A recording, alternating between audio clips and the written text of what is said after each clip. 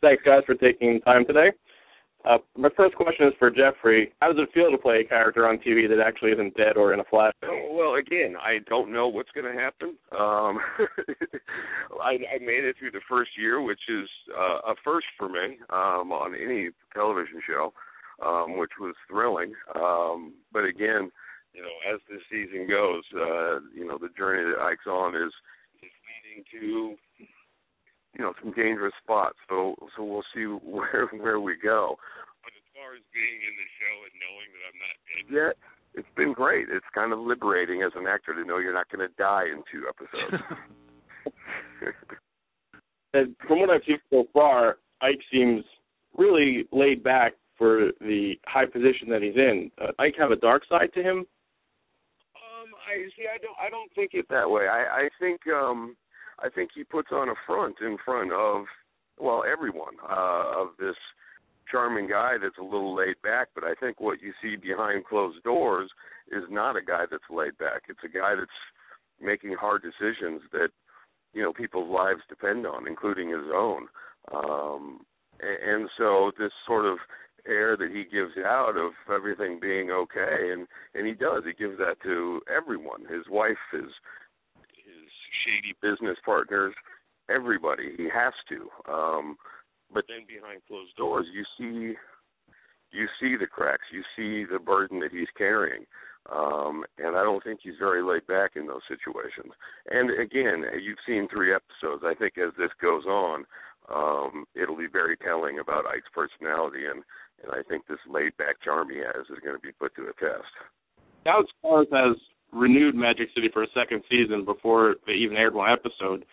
Does this put any more or less pressure on you as the lead actor and as Mitch as the series creator?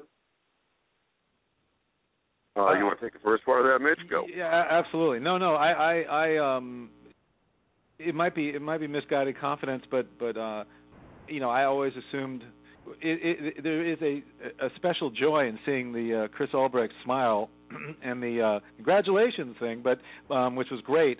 But I always I always had a feeling that we were uh, going to be going forward, and and I'd already started kind of mapping out or planning in my head uh, a second season, and and um, I don't know I, I've never done television before, so I don't know the politics of of announcing or what any of that means. I just I, I, I what I do know is is uh, Starz and Chris Albrecht in particular, you know, have a passion for the show, and and um, he hasn't been sh- shy about that. So, um, you know, I, I his support and and kind of excitement about it is great fuel for all of us. And uh, you know, I I don't feel any more pressure, you know, than I would have uh, if we were waiting to hear. Or it's a relief, truthfully. I mean, I, I can just kind of proceed and and uh, you know, I have I have writers this time, and as opposed to writing all of them as I did last year, and uh, you know, I think I'll look better at the end of the year. Things like that.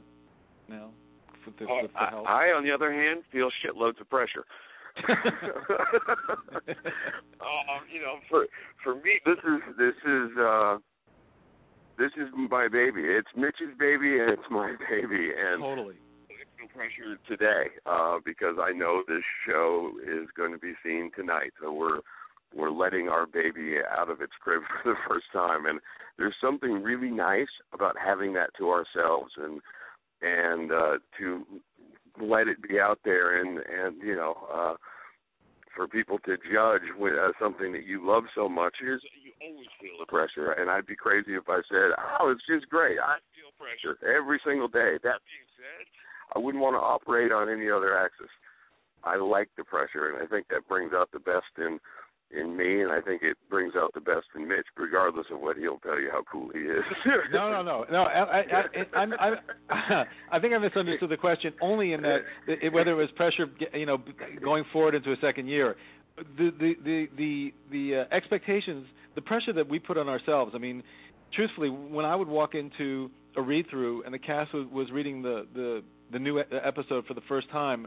Um, the, the the expectation level and the and the ambition level and the and the pressure was self-imposed. Meaning, you know, Jeff and I were were feeling that we were operating at a certain level, and and you just wanted to continue it. And so I feel that, you know, when I'm in with writers and kind of the storytelling, and I just want it to get better and bigger and and and more powerful. And but as far as the world seeing it, just absolutely right. I mean, it's a this is a you know it's a vulnerable feeling because um we've just been hugging each other, saying how how much we're enjoying it through the whole process, and and now it's in the world, you know, which is what we're doing it for. But but yeah, there's there's definitely pressure attached.